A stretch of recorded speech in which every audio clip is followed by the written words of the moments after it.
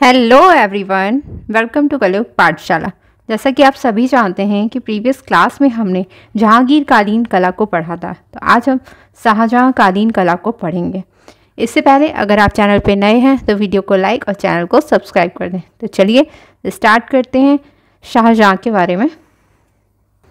तो अगर बात करी जाए शाहजहाँ की तो अगर इनके जन्म की बात करी जाए तो इनका जन्म कहाँ पर हुआ था? लाहौर में हुआ था। कहाँ पर? लाहौर में हुआ था। और कब हुआ था? 1592 में हुआ था। यानी शाहजहाँ जो थे, इनका जन्म लाहौर में 1592 में हुआ था। और इनके पिता कौन थे? तो आप सभी जानते हैं इनके पिता कौन थे? जहांगीर थे। और इनकी माता कौन थी? मानवती। इन सभी के बारे में मैंने प्रीवियस क्लास में बहुत अच्छे से पढ़ाया हुआ है तो आप जाके वो वीडियोस देख सकते हैं। तो शाहजहाँ की अगर बात करी जाए तो इनका जन्म कहाँ पर हुआ है? इनका जन्म हुआ है लाहौर में। कहाँ पर? लाहौर में। और कब? 1592 में इनका जन्म हुआ था। ठीक है? चलिए नेक्स्ट है इनके पिता। तो इनके पिता जहांगीर थे। कौन थे? जहांगीर थे और इनकी माता मानवती थी, ठीक है? कौन थी? मानवती थी। चलिए, आगे देखेंगे। शाहजहाँ के टाइम पे क्या होता है कि जो शाह कलम होती है, यानी शाह कलम का शुरुआत मानी जाती है, यानी शाहजहाँ का जो टाइम पीरियड था, उस टाइम पर शाह काम की शुरुआत होती है, ठीक है? और शाह कलम का विशेषज्ञ कौन था? तो मोहम्मद कादिर था। कौन था? मोहम्मद कादिर था। यानी जो शाह कलम जो तकनीक थी, उसकी शुरुआत कब होती है? शाहजहाँ के टाइम पर होती है। और इसके जो विशेषज्ञ थे उस टाइम पर कौन थे? मोहम्मद कादिर थे। कौन थे? मोहम्मद कादिर। ठीक है? चलिए, अब बात करते हैं कि इनके जो चित्र थे उस टाइम के, शाहजहाँ के समय के तो क्या किस तरह के हाशिए का प्रयोग किया जाता था? तो शाहजहाँ के समय में जो चित्र थे, उनमें चौड़े हाशियों का प्रयोग होने लगा था। कैसे? चौड़े हाशिए का प्रयोग होने लगा था। ठीक है? और शाहजहाँ के समय विदेशी या यवन स्त्रियों के चित्र सर्वाधिक बनाए गए थे। तो आपने देखा, इससे पहले जो थे, वहाँ पर क्या होता था? स्त्रियों के चित्र नहीं बनाए गए, मगर जहांगीर के समय में थोड़े बनने लगे थे। ठीक है? मगर शाहजहाँ के समय क्या होता है? विदेशी या यवन स्त्रियों के चित्र सर्वाधिक बनाए गए थे। ठीक है? तो यहाँ पर विदेशी और यवन स्त्रियों के जो चित्र हैं, सबसे ज़्यादा किसके समय में बनाए गए हैं? तो शाहजहाँ के समय में बनाए गए हैं। और अगर शुरुआत पूछी जाए तो किसकी, कहाँ से होती है? तो जहांगीर के समय से स्त्रियों के चित्र भी बनाए जाने लगे थे। ठीक है, चलिए नेक्स्ट देखेंगे। शाहजहाँ के शासनकाल में दरबारी शान शौकत का चित्रकला में अधिक प्रभाव पड़ा था। यानी शाहजहाँ का जो शासनकाल था, उस उस समय की जो दरबारी शान शौकत थी, उसका चित्रकला पर बहुत अधिक प्रभाव पड़ा हुआ था। ठीक है? मुगल कालीन चित्रों में, अब मुगल कालीन जो चित्र हैं, उनमें किससे? घरेलू जीवन से संबंधित चित्रों का अभाव था। यानी मुगल काल में जो चित्र थे, वह घरेलू जीवन से संबंधित नहीं बनाए गए थे। और ये जो चित्र थे, वह क्या थे? सर्वाधिक दरबारी चित्र बनाए गए थे। कैसे? दरबारी चित्र बनाए बनाए गए थे। तो ये मोस्ट इंपॉर्टेंट पॉइंट हो जाता है। आपसे पूछा जाता है कि मुगल काल में किसका चित्रण किया गया? तो कुल सर्वाधिक दरबारी चित्र बनाए गए हैं उस टाइम पर, ठीक है? और यहाँ पर घरेलू जीवन से जो संबंधित चित्र बनाए जाते थे, ये मुगल कालीन चित्रों की विशेषता नहीं थी, ठीक है? और यहाँ का जो दरबारी शान शौकत था, उस पर चित्रकला का प्रभाव दिखाई पड़ता है, ठीक है? चलिए नेक्स्ट देखेंगे। अब देखेंगे शाह शाहजहाँ कालीन जो चित्रकार थे उनके बारे में। तो कुछ चित्रकार हैं, जैसे हो गया फ़कीर उल्ला, मीर हासिम, होनहार, मोहम्मद विचित्र अनूप मुराद हुनर ये कुछ चित्रकार हो गए। और गोवर्धन फतेह चंद और समरकंदी ये कुछ चित्रकार हो गए जो शाहजहाँ कालीन चित्रकार हैं। तो आपको नाम से पता होना चाहिए कि कौन से चित्रकार किसके टाइम के हैं ठीक है? चलिए अब देख लेंगे इनके समय में किसका सब, सबसे ज़्यादा चित्र बनाए गए हैं ठीक है? तो रंग महल और काम क्रीडा या रति संबंधित दृश्यों पर आधारित चित्र शाहजहाँ के समय बनाए गए। ठीक है? तो आपने देखा कि दरबारी चित्र, सर्वाधिक दरबारी चित्र बनाए गए थे और उसके साथ ही साथ अगर बात करी जाए तो रंग महल के चित्र बनाए गए हैं। किसके? रंग महल के चित्र बनाए गए हैं। काम क्रीडा के या फिर रति संबंधित जो दृश्य होते हैं, उन पर आधारित जो चित्र थे, शाहजहाँ के समय बनाए गए थे। ठीक है? और शाहजहाँ की अगर बात करी जाए तो इनकी रुचि किसमें थी? तो इनको विशेष रूप से स्थापत्य कला में रुचि थी। ठीक है? तो इनके टाइम के जो अभी स्थापत्य कलाएँ होंगी वह हम आगे पढ़ेंगे। ठीक है? तो शाहजहाँ को अगर रुचि की बात करी जाए तो सबसे ज़्यादा किसमें थी? यानी चित्रकला से भी ज़्यादा किसमें थी? स्थापत्य कला में थी। ठीक है, चलिए, अब बढ़ते हैं। अब इनके टाइम की स्थापत्य कलाओं को देख लेंगे। तो सबसे पहले बात करेंगे ताजमहल की, और ताजमहल के बारे में सभी जानते हैं, ठीक है? तो ताजमहल इसका निर्माण किसने करवाया था? तो इसका निर्माण करवाया था शाहजहाँ ने। किसने करवाया था? शाहजहाँ ने करवाया था। और कितने वर्षों में कराया था? तो कुल 22 वर्षों में, यानी ताजमहल के निर्माण में कुल 22 वर्षों का समय लगा था। और ये कब से कब तक लगा था? तो 1631 से लेकर सोलह तक। यानी सोलह में इसका कार्य प्रारंभ होता है और सोलह में इसका कार्य समाप्त होता है। यानी ताजमहल का जो निर्माण है, वह किसने कराया? शाहजहाँ ने करवाया था। कितने वर्षों में कराया था? तो 22 वर्षों में कराया था। कब शुरुआत हुई थी इसकी? तो 1631 में हुई थी। और इसका अंत कब हुआ था? तो सोलह में। ठीक है? चलिए, अब देख लेंगे कि ताजमहल कहाँ पर स्थित है। तो ताजमहल जो है, वह आगरा में, कहाँ पर? आगरा में यमुना नदी के किनारे स्थित है। ठीक है? आगरा में यमुना नदी के किनारे स्थित है। ठीक है? और ये किस लिए किसकी याद में बनवाया गया था? तो जो शाहजहाँ थे, इन्होंने अपनी बीवी मुमताज़ महल की याद में इसको बनवाया था। ठीक है? किसकी याद में? मुमताज़ महल की याद में इसको बनवाया था। किसने? शाहजहाँ ने।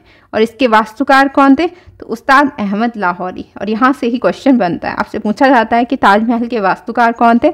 तो उस्ताद अहमद लाहौरी थे। ठीक है? इंपॉर्टेंट तो उस्ताद अहमद लाहौरी ने किसका निर्माण किया? किसके वास्तुकार हैं? तो ताजमहल के ये वास्तुकार हैं। ठीक है? तो यहाँ पर जितने पॉइंट्स लिए वो सारे ही इंपॉर्टेंट हैं। तो ताजमहल, अगर आपसे पूछा जाएगा कि इसका निर्माण कितने वर्षों में हुआ है तो कुल 22 वर्षों में इसका निर्माण हुआ था। कब से कब तक? तो सोलह से इकतीस से लेकर सोलह तक, ठीक है? ये कहाँ पर स्थित है? तो ताजमहल आगरा में यमुना नदी के किनारे पर स्थित है। और ये किसकी याद में बनवाया गया है? तो शाहजहाँ ने अपनी बीवी मुमताज़ महल की याद में ताजमहल का निर्माण करवाया था। इसके वास्तुकार कौन थे? तो उस्ताद अहमद लाहौरी थे, ठीक है? चलिए नेक्स्ट पॉइंट देखेंगे। नेक्स्ट है मयूर सिंहासन। तो मयूर सिंहासन जो है, इसका निर्माण भी किसने करवाया था? शाहजहाँ ने करवाया था। ठीक है? चलिए। तो इसे हम मयूर सिंहासन को हम तख्ते ताउस के नाम से भी जानते हैं। किसके नाम से? तख्ते ताउस के नाम से भी जानते हैं। ठीक है? तख्ते ताउस के नाम से भी जानते हैं। इसका निर्माण किसने करवाया था? तो इसका निर्माण शाहजहाँ के समय में हुआ था। ठीक है? किसके समय में? शाहजहाँ के समय। वास्तुकार कौन थे इसके? तो बेबादल खां। और इन्होंने कब से कब तक तो 1638 से लेकर 1645 तक कुल सात वर्षों में किया था। आपने देखा ताजमहल का हुआ था 22 वर्षों में। मयूर सिंहासन का जो निर्माण है, वह होता है सात वर्षों में। कब से कब तक? तो 1638 से लेकर 1645 तक, ठीक है? और इसके वास्तुकार कौन थे? तो इसके वास्तुकार थे बेवा, बेवादल खां। ठीक है? और इसका निर्माण शाहजहाँ के समय हुआ था। तो आपको ये दोनों चीज़ें याद रखनी है। मयूर सिंहासन को हम किस और नाम से जानते हैं तो तख्ते ताउस भी के नाम से भी जानते हैं। इसका निर्माण शाहजहाँ के समय में हुआ था। इसके वास्तुकार कौन थे? तो बेबादल खां थे। और इसका निर्माण कुल कितने वर्षों में होता है? तो सात सात वर्षों में होता है। कब से कब तक? 1638 से लेकर 1645 तक। ठीक है? चलिए, आगे देखेंगे। इसमें क्या जड़ा गया है? तो मयूर सिंहासन में हीरे मोती और बहुमूल्य वस्तुएँ जड़ी गई हैं। क्या क्या इसमें जो मयूर सिंहासन बनाया गया, उसमें हीरे लगाए गए, मोती लगाए गए और बहुमूल्य वस्तुएँ भी इसमें जड़ी गई हैं। ठीक है? तो ये हो गया आपका मयूर सिंहासन। चलिए, अब नेक्स्ट देखेंगे। नेक्स्ट है लाल किला। तो लाल किला जो है, इसका निर्माण किसने कराया है? शाहजहाँ ने करवाया है। किसने करवाया है? शाहजहाँ ने करवाया है। ठीक है? और कहाँ पर? लाल किले का निर्माण शाहजहाँ ने दिल्ली में करवाया था। कहाँ पर? दिल्ली में करवाया था और कब? 1639 से लेकर 1648 के मध्य में। यानी 1639 में इसकी स्टार्टिंग होती है और 1648 में क्या होता है? ये पूरी तरह से बनकर तैयार हो जाता है।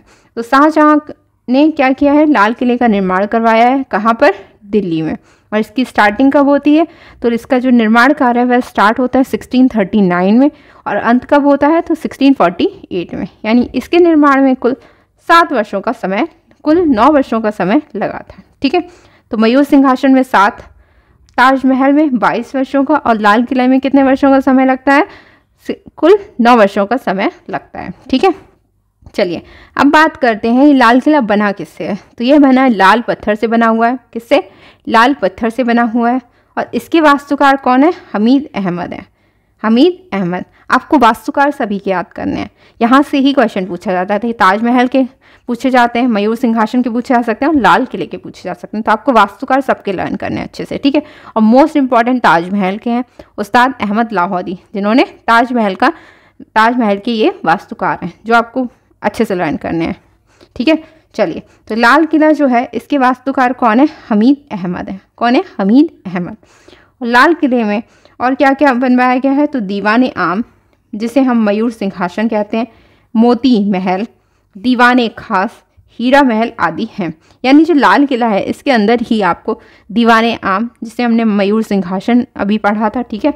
नेक्स्ट है मोती महल दीवान खास और हीरा महल आदि भी इसी लाल किले के अंदर आपको मिलते हैं। ठीक है? चलिए। तो ये हो गया लाल किला। इसका निर्माण किसने कराया था? शाहजहां ने। इसके वास्तुकार कौन थे? हमीद अहमद थे। इसका निर्माण कहाँ पर कराया गया? तो इसका निर्माण करवाया गया है दिल्ली में और कब? 1639 में और 1648 में इसका कार्य खत्म होता है। ठीक है? और कुल नौ वर्षों तक इसका निर्माण हुआ है। ठीक? ये किससे बना हुआ है? तो ये लाल पत्थर से बना हुआ है। इसके अंदर आपको दीवाने आम, जिसे हम मयूर सिंहासन कहते हैं, मोती महल, दीवाने खास और हीरा महल आदि हैं, ठीक है? चलिए, अब देखेंगे मुसम्मन बुर्ज। चलिए, इसको देख लेंगे। मुसम्मन बुर्ज, यह क्या है? एक छः मंजिला इमारत है। कितनी? ये एक छः मंजिला इमारत है और इसका निर्माण किसने कहाँ पर हुआ है? तो इसका निर्माण आगरा के किले में हुआ है। कुछ जो चीज़ें हैं जिनका निर्माण आगरा के किले के अंदर हुआ है, कुछ का जो निर्माण है वह आगरा के किले के बाहर हुआ है, ठीक है? तो इसका निर्माण कहाँ पर हुआ है? आगरा के किले में हुआ है, यानी इसके अंदर हुआ है। जैसे लाल किले के अंदर जो चीज़ें थी, मैंने भी आपको बताई। तो इसी तरह से जो मुसम्मन बुर्ज है, इसका निर्माण आगरा में होता है और कहाँ पर? आगरा के किले में होता है, ठीक है? और इसका निर्माण किसने करवाया था? तो इसका निर्माण करवाया था शाहजहाँ ने। किसने? शाहजहाँ ने कराया था, ठीक है? तो ये दो पॉइंट इससे इंपॉर्टेंट है मुसम्मन बुर्ज से, ठीक है? तो यह क्या है? एक छः मंजिला इमारत है, ठीक है? इसका निर्माण कहाँ हुआ है? आगरा के किले में हुआ है। किसने करवाया है? शाहजहाँ ने करवाया है, ठीक है? चलिए, अब नेक्स्ट पॉइंट देखेंगे। तो आपने पढ़ा था पित्रा द्योरा तकनीक के बारे में, ठीक है? तो उसी तकनीक का जो चरमोत्कर्ष है, कहाँ, किसके समय में हुआ था? तो पित्रा द्योरा का जो चरमोत्कर्ष है शाहजहाँ के समय हुआ था। किसके? शाहजहाँ के समय हुआ था, ठीक है? शाहजहाँ के शासनकाल को स्थापत्य कला का स्वर्ण काल कहा जाता है। तो आपने अभी देखा कि शाहजहाँ की रुचि किसमें ज़्यादा थी? स्थापत्य कला में थी। तो इन्होंने सबसे ज़्यादा किसका निर्माण कराया है? स्थापत्य कलाओं का कराया ठीक है? तो इसी तरह से शाहजहाँ के शासनकाल को हम किसका स्वर्ण काल कहते हैं? स्थापत्य कला का स्वर्ण काल कहते हैं, ठीक है? चलिए नेक्स्ट है, भारत की सबसे बड़ी मस्जिद कौन सी है? तो भारत की सबसे बड़ी जो मस्जिद है वह है जामा मस्जिद, ठीक है? जामा मस्जिद। नेक्स्ट है पातशाहनामा की रचना मोहम्मद अमीन काजबीनी ने की थी। तो जो ये पातशाहनामा है, इसकी रचना किसने करी थी? मोहम्मद अमीन काजबीनी ने की थी, ठीक है? तो ये हो गए कुछ शाहजहाँ कालीन जो इम्पोर्टेंट चीज़ें थी, वो सारी मैंने आपको करा दी। एक बार इसको अच्छे से समझ लेंगे। चलिए। तो भारत की अगर आपसे सबसे बड़ी मस्जिद पूछी जाएगी तो वह कौन सी हो जाएगी? जामा मस्जिद हो जाएगी, ठीक है? पातशाहनामा ये इसकी रचना किसने की थी? तो मोहम्मद अमीन काजवीनी ने की थी। ठीक है? चलिए। नेक्स्ट है मुसम्मन बुर्ज क्या है? यह एक छः मंजिला इमारत है, जिसका निर्माण आगरा के किले के अंदर हुआ है और किसने कराया है? शाहजहाँ ने इसका निर्माण कराया है। और जो पित्रा द्योरा तकनीक थी, जिसके बारे में मैंने प्रीवियस क्लास में आपको पढ़ाया हुआ है तो पित्रा द्योरा का जो चरमोत्कर्ष है, वह किसके समय? शाहजहाँ के समय हुआ था। शाहजहाँ के शासनकाल को स्थापत्य कला का स्वर्णकाल कहा जाता है। ठीक है? तो एतमाउद्दौला का जो मकबरा है, उसमें सबसे पहले पित्रा तकनीक का प्रयोग किया गया था। ठीक है? चलिए। नेक्स्ट है, लाल किला। लाल किला, इसका निर्माण शाहजहाँ ने करवाया है। कहाँ पर? दिल्ली में। ठीक है? और ये किससे बना हुआ है? तो ये लाल पत्थर से बना हुआ है और इसके निर्माण में कुल नौ वर्षों का समय लगा है, यानी 1639 से लेकर 1648 तक। इसके वास्तुकार कौन है? हमीद अहमद है। और लाल किले के अंदर आपको क्या क्या चीज़ें मिलती हैं? जैसे दीवाने आम, जैसे मयूर सिंहासन कहते हैं, मोती महल, दीवाने खास, हीरा महल आदि इसके अंदर है, ठीक है? चलिए नेक्स्ट है मयूर सिंहासन। तो इसे तख्ते ताउस भी कहा जाता है। इसका निर्माण किसने कराया है? तो शाहजहां ने करवाया है। इसके वास्तुकार कौन थे? बेबादल खां थे। और इसके निर्माण में कुल सात वर्षों का समय लगा है। 1638 से लेकर 1645 तक। इसमें हीरे, मोती व बहुमूल वस्तुएँ भी जड़ी गई हैं मयूर सिंहासन में, ठीक है? चलिए नेक्स्ट है ताजमहल। इसका निर्माण किसने करा है? तो इसका निर्माण शाहजहाँ ने करवाया है। और कितने वर्षों में? तो 22 वर्षों में। कब से कब तक? तो 1631 से लेकर 1653 के बीच में, ठीक है? ये कहाँ पर स्थित है? तो आगरा में यमुना नदी के किनारे स्थित है। इसे बीबी इन्होंने अपनी बीवी मुमताज़ महल की याद में बनवाया था। ताजमहल के वास्तुकार कौन है? तो उस्ताद अहमद लाहौरी। ये मोस्ट इंपॉर्टेंट है। ठीक है? चलिए। और इन्होंने कि, शाहजहाँ की किसमें विशेष रुचि थी? तो स्थापत्य कला में थी। और इन्होंने किससे संबंधित चित्र बनाए हैं? तो रंग महल और काम कीड़ा रति संबंधित दृश्यों पर आधारित चित्र किसने बनाए हैं? शाहजहाँ के समय बनवाए गए हैं। ठीक है? तो ये हो गए आपकी शाहजहाँ कालीन कला। आई होप आपको अच्छे से समझ आ गई होगी और एक एक पॉइंट अच्छे से क्लियर हो गया होगा। अगर आपको वीडियो अच्छी लगी है तो वीडियो को लाइक करें शेयर करें और चैनल को सब्सक्राइब करें। मिलते हैं नेक्स्ट वीडियो में, तब तक के लिए थैंक यू